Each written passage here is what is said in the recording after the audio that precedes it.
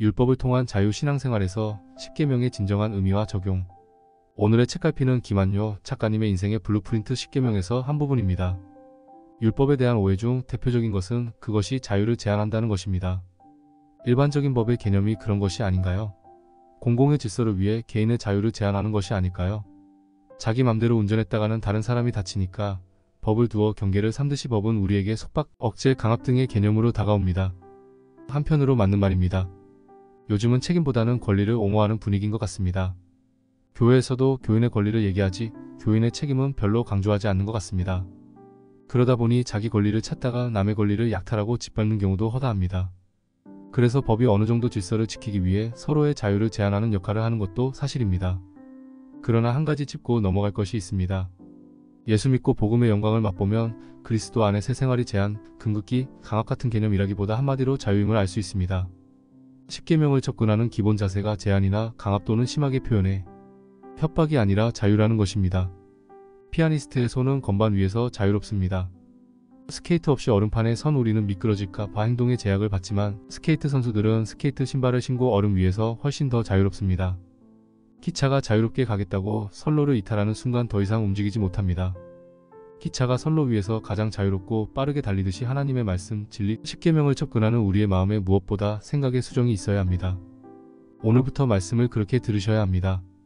탈선한 기차를 선로 위에 다시 올려놓는 것이 뼈를 깎는 수고일 수 있지만 그것이 진정 우리가 자유로워지는 길입니다.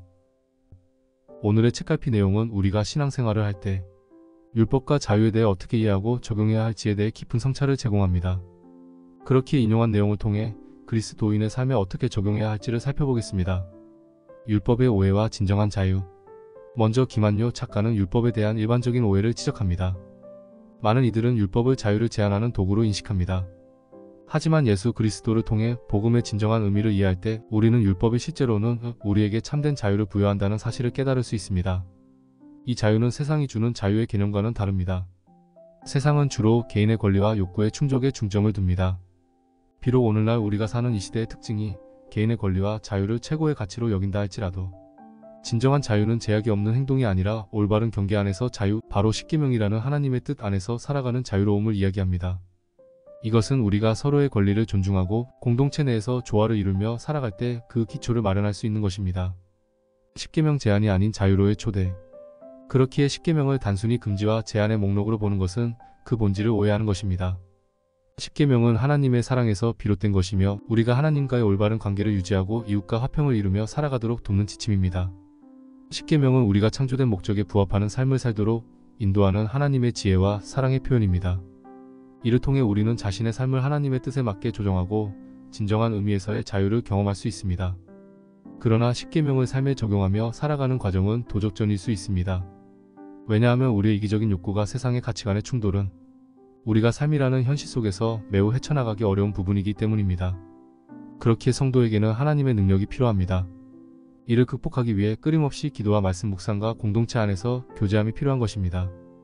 악기를 연주하기 전 조율의 과정이 필요하듯이 우리 안에서도 마음과 생각을 하나님께 맞추는 과정이 필요하며 공동체 안에서 서로 어려움을 격려하며 함께 자라가는 것이 중요합니다. 생각의 수정 율법을 통한 자유로의 이행 이처럼 우리의 마음가짐의 변화는 신앙생활에서 매우 중요합니다. 우리가 율법을 하나님의 사랑과 지혜의 표현으로 이해할 때 우리는 그것을 제한이 아닌 자유로의 초대장으로 받아들일 수 있습니다. 김한효 작가가 언급한 바와 같이 피아니스트의 손이 건반 위에서 자유롭듯이 우리도 십계명을 따름으로써 진정한 자유를 누릴 수 있습니다. 신앙생활에서의 자유는 제약 없이 원하는 대로 행동하는 것이 아니라 하나님의 뜻에 따라 살아갈 때 찾아오는 평화와 기쁨입니다. 그렇기에 하나님의 말씀과 율법은 우리 삶의 제한이 아니라 진정한 자유와 충만한 삶으로 인도하는 길잡이라는 사실을 잊지 마십시오. 그리고 그 말씀이 진정한 초대의 자리임을 기억하십시오. 이것을 우리가 이를 깊이 이해하고 적용할 때 우리는 그리스도 안에서의 참된 자유를 경험할 수 있습니다. 여기까지 오늘의 책갈피였습니다.